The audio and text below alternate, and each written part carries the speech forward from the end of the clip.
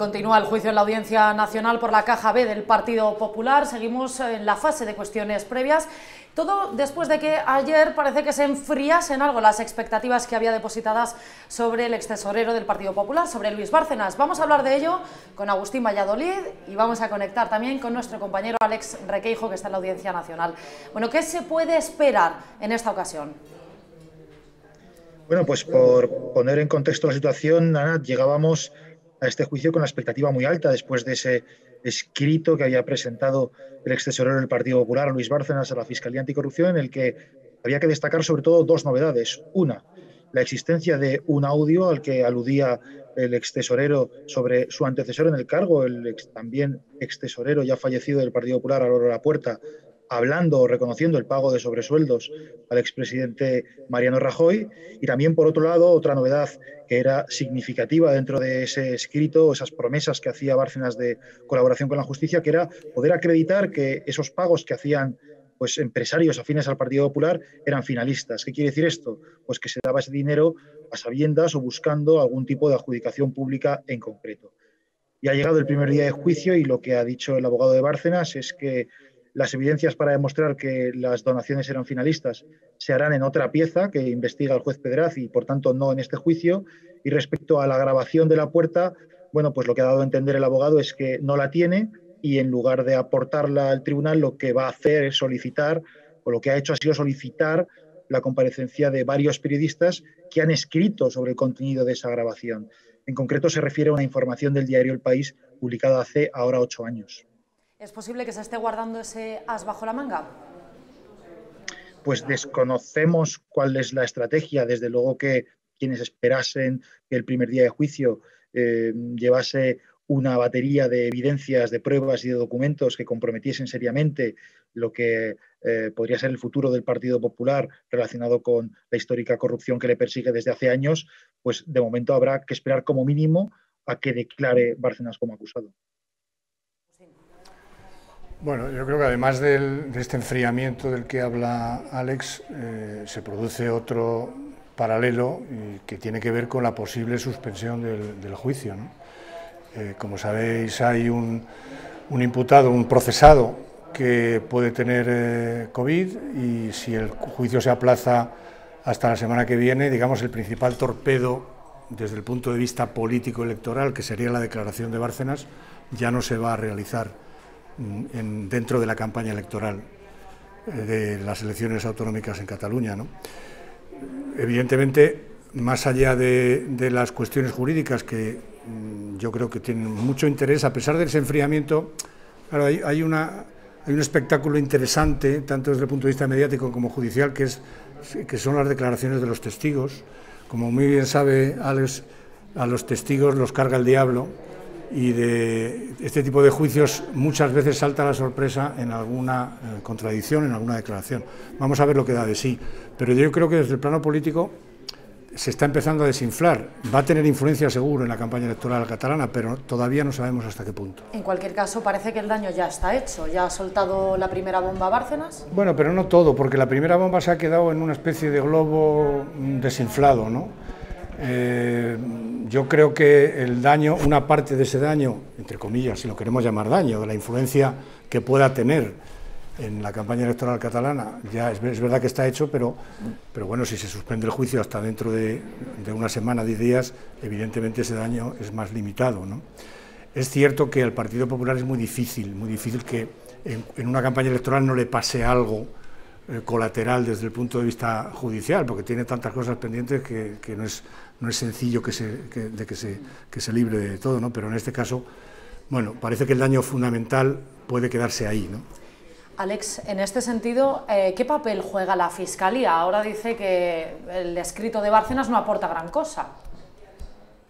Sí, es que de hecho, en paralelo a la comparecencia del abogado, a su primera intervención en esta fase de cuestiones previas, conocíamos un comunicado de, la Fiscalía Anticorrupción. Para que os hagáis una idea, es algo bastante atípico, no es habitual que la Fiscalía Anticorrupción emita este tipo de comunicados. Y básicamente eh, el propio Ministerio Público lo que venía a decir es que tenía intención de salir al paso de muchos rumores o especulaciones que se estaban produciendo en los últimos días sobre un presunto acuerdo entre la Fiscalía y el señor Bárcenas. ¿no? Y lo que dice el Ministerio Público es que nada de eso, que no hay ninguna aproximación y de hecho lo que hacen es restarle crédito, restarle valor a ese escrito presentado la semana pasada. ¿no? Lo, que, lo que vienen a decir los fiscales es que no aportan grandes novedades y por traducirlo, le piden un poquito más o le piden más a Bárcenas.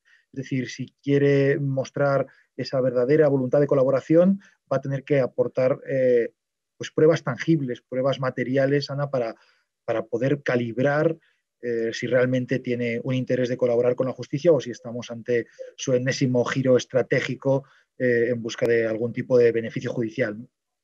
¿Dónde están esas grabaciones? Es la pregunta.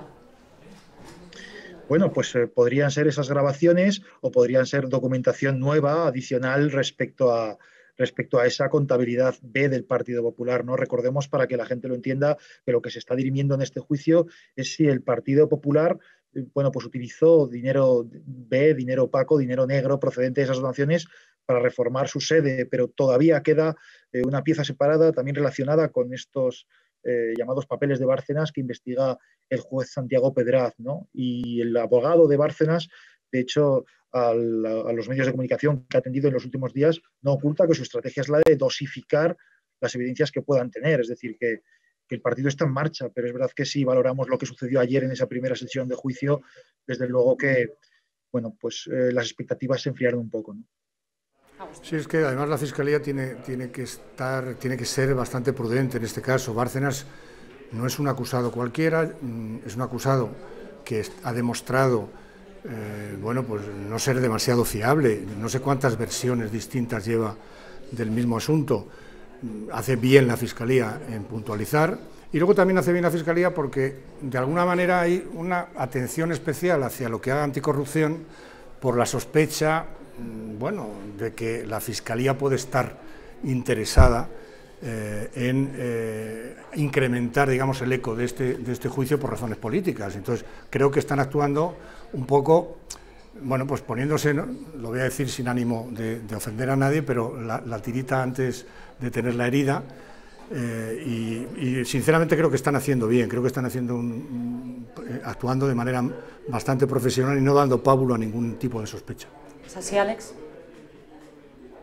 Bueno, pues vamos a ver, yo creo que son, es una fiscalía que lleva trabajando muchos años en este tema, la verdad, y hay una, hay una un interés de salir al paso, ¿no? Pero es verdad que es un movimiento que ha hecho la Fiscalía que no es muy habitual. No es muy habitual que, desde, el, Departamento de Prensa del Ministerio Público se salga a contestar especulaciones.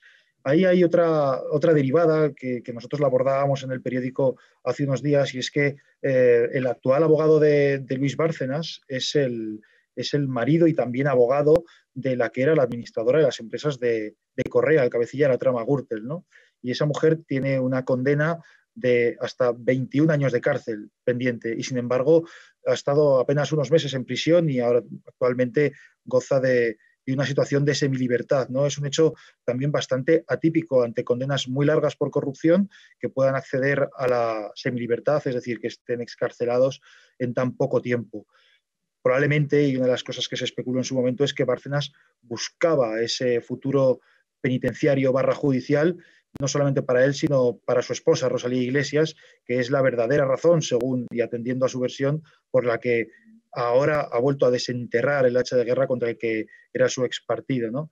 Es verdad que luego eso es muy complicado, Ana, porque es muy complicado poder eh, trasladar la colaboración de uno a los eh, posibles permisos penitenciarios de un tercero, pero es verdad que eso es algo que se ha especulado en los, en los últimos días y entiendo que la Fiscalía quiere salir al paso para, para desvincularse de eso. Sí, bueno, yo creo que este caso todavía no ha dicho la última palabra. Eh, vamos a ver lo que, cómo evoluciona, pero efectivamente hay muchas incógnitas abiertas todavía y sobre todo creo que la preocupación política por parte de los dirigentes del Partido Popular está justificada porque es cierto que hay una distancia temporal bastante grande entre los hechos y eh, la toma del poder en el Partido Popular de la actual dirección, pero eh, inevitablemente en esta, en esta fase de polarización y de confrontación política este tipo de asuntos van a ser siempre utilizados. Pues eh, Agustín Valladolid, Alex Requeijo, muchísimas gracias a los dos por estar aquí. A vosotros. A vosotros.